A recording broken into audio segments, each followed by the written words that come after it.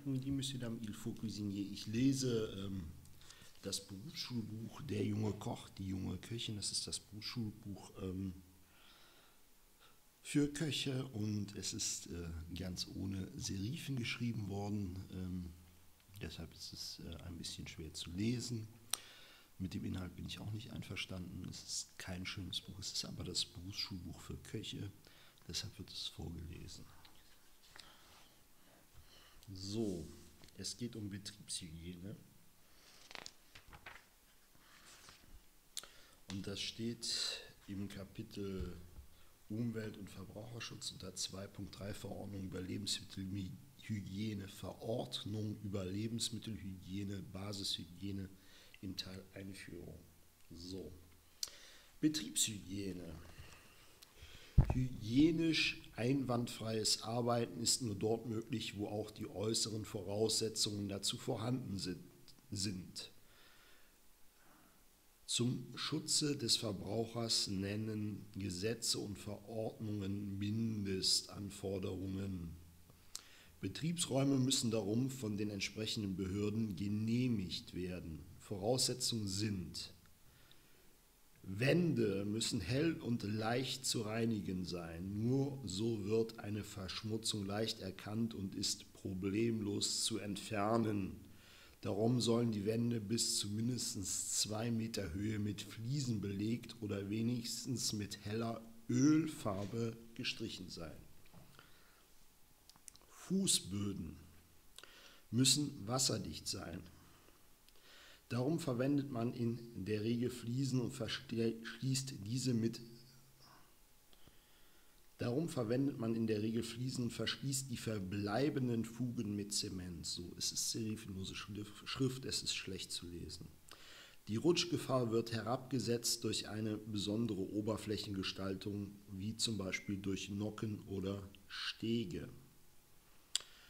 Toiletten müssen so angeordnet sein, dass sie nicht direkt mit den Produktionsräumen in Verbindung stehen. So wird die Gefahr der Keimverschleppung herabgesetzt. Waschplätze müssen sich in der Nähe der Arbeitsplätze befinden und mit fließendem Wasser ausgestattet sein. Sie müssen getrennt von den Reinigungsbecken für Geschirr oder Rohstoffe angebracht werden. Kühlräume sind sauber zu halten, denn Lebensmittelreste und Verschmutzungen bieten Bakterien Nahrung. Zwischenreinigen verbessert die Hygiene nach jedem Arbeitsvorgang Arbeitsfläche und Geräte reinigen. Tücher in der Küche verwenden, die in der Küche verwendet, nee, Tücher in der Küche verwendet werden, sind täglich, ja, ist schon kein richtiges Deutsch mehr, Tücher in der Küche verwendet werden, sind täglich zu waschen. Da fehlt ein die, die in der Küche verwendet werden. Bei Spülmaschinen dürfen Programme in Klammern Zeit, Temperatur, Klammer zu, nicht geändert werden, denn unter geänderten Bedingungen können Bakterien überleben. Ungeziefer ist zu bekämpfen, denn es kann Keime übertragen. So, das ist der Text für heute. Dann gibt es eine Abbildung, hochgezogene Fliesen verhindern Schmutzablagerung in einer Edelstahlküche. Ich kann das mal gerade zeigen. Hier. Und unten am Fuß der Küche hat man die hochgezogenen Fliesen. Dann gibt es hier noch zwei Punkte am Rand. Erster Punkt, das Lebensmittelrecht schreibt vor, dass die Einrichtungsgegenstände farblich heraufgesetzt so beschaffen sein müssen, dass sie bei bestimmungsgemäßem Gebrauch die menschliche Gesundheit nicht schädigen können. Darum müssen sie nicht, darum dürfen sie nicht rosten und müssen leicht zu reinigen sein. Warum äh, Rost jetzt gesundheitsschädlich ist, ist mir nicht ganz so klar. Ähm, neben den Eigenschaften des Materials, das zur Herstellung von Einrichtungsgegenständen verwendet wird, kann es wesentlich, kommt es wesentlich auf die Art der Formgebung und Verarbeitung an.